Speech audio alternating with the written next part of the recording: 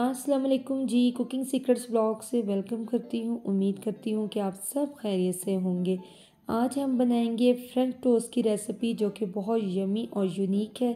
आप इसको ज़रूर ट्राई करें। उम्मीद करूँ, करती हूँ कि आपको ये रेसिपी ज़रूर पसंद आएगी। अगर हमेशा की तरह आपको मेरी रेसिपी पसंद आए तो प्लीज़ मेरे चैनल को सब्सक्राइब और लाइक करना मत भूलिएगा।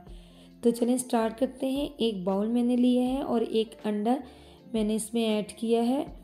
अंडे को अच्छी तरह से मिक्स कर लेना है और थ्री टेबलस्पून इसमें पिसी हुई चीनी को ऐड करूँगी और चंद कतरे वनीला एसेंस के ऐड कर दूँगी।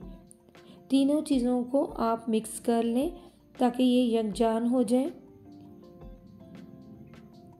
वन फोर कप मेरे पास नीम गर्म दूध था, वो भी मैंने इसमें ऐड किया है।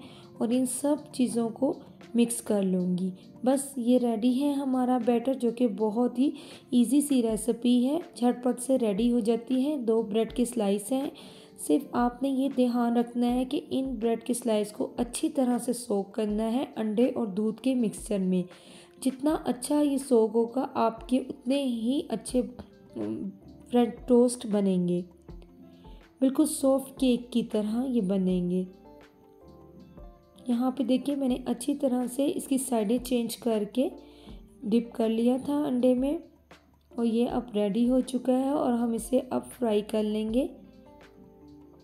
मैंने एक फ्राई पैन लिया है वन टेबल स्पून मैंने ऑयल लिया और इसमें मैं ये ब्रेड की स्लाइस ऐड कर दूँगी। यहाँ पे आपने याद रखना है कि फ्लेम को बिल्कुल स्लो रखना है हाई फ्लेम पे आपने इसको नहीं बनाना। जितना स्लो फ्लेम होगा, इसका कलर बहुत ज़बरदस्त आएगा और ये अच्छी तरह से पक जाएगा।